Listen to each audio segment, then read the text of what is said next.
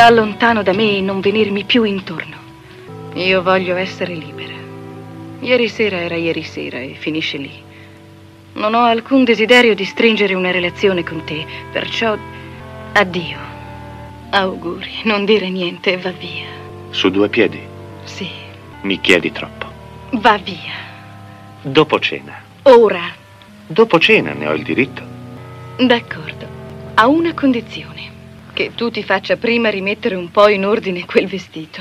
Così mi sembri proprio uno scaricatore. Siamo stati assaliti dagli indiani, dai fuorilegge bianchi, dalle bande armate del Texas, poi occupati dai francesi e adesso anche la cavalleria americana. Purtroppo siete arrivati tardi. Noi non abbiamo più niente. Né cibo, né armi e nemmeno donne. È questo che volevate, no? Per questo non avete nemmeno avuto il coraggio di mostrare la vostra bandiera. Abbiamo fame. Sono sicura che non avrete più fame di noi. Il mio nome è Caterina e così voglio essere chiamata. Mi sono deciso a muovermi per far di te la mia sposa. A muoverti? E sei arrivato in tempo. Ma chi ti ha mosso farà bene a rimuoverti di qui al più presto. L'ho visto subito che sei un bel mobile. Ah sì? E che tipo di mobile? Uno sgabello. Come questo.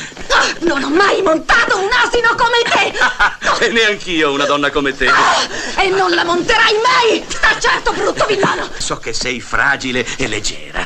Troppo leggera per un bestione rozzo come te. Ah, padre, questo matto. Ah, certo, che ho capito.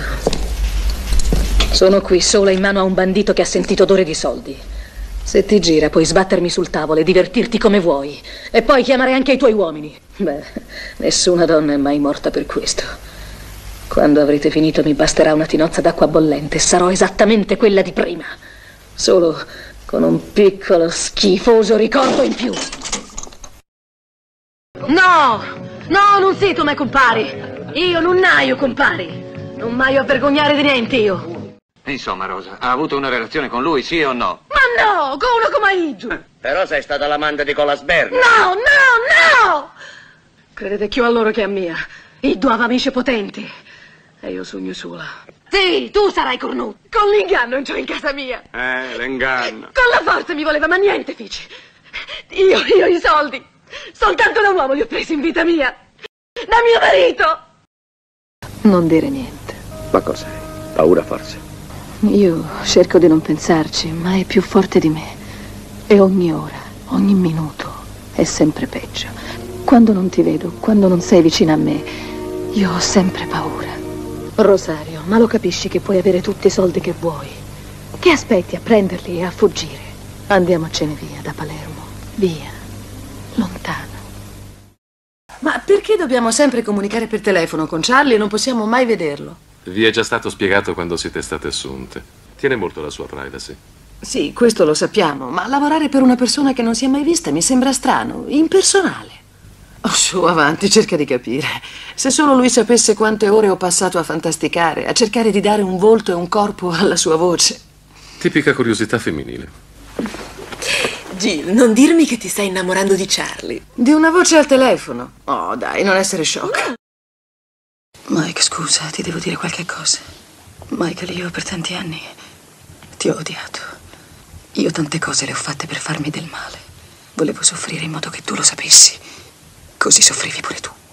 Ma poi ho cominciato a capire che tu. tu eri giusto. Volevi essere forte per tutti noi, come papà prima di te. Ti ho capito, ti ho perdonato. E, e tu. E tu perché non vuoi perdonare a Fredo? Così debole, è così disperato senza più te.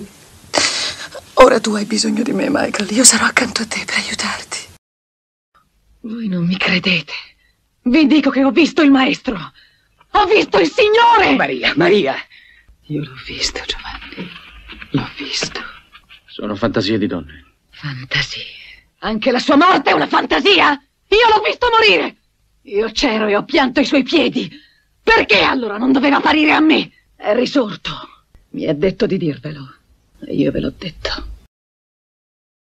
Ho fatto dei progressi, sai, da quando ballavo qui tra la frutta e i sacchi di farina. Puoi venire a spiarmi se ti va e se hai tempo. Noodles! Corri, Noodles, che mamma ti vuole. Mi ha fatto piacere rivederti. Io so che tu desideri cantare, perché anch'io amo cantare, niente mi rende più felice. Io volevo diventare una cantante, oppure la prima pattinatrice delle Ice Capades. Ehi, sai chi sono le Ice Capades? Non alzare gli occhi al cielo, erano super. Beh, andai da mia madre, che mi diede questo libro. Lettere ad un giovane poeta, di Rainer Maria Rilke. È uno scrittore favoloso. Un tale una volta gli scrisse e gli chiese voglio diventare uno scrittore, la prego di leggere le mie cose. E Rilke rispose a quel tale, non chiedere a me come si diventa scrittori. Se quando ti svegli la mattina non puoi pensare ad altro che allo scrivere, allora sei uno scrittore. Ora io voglio dire la stessa cosa a te.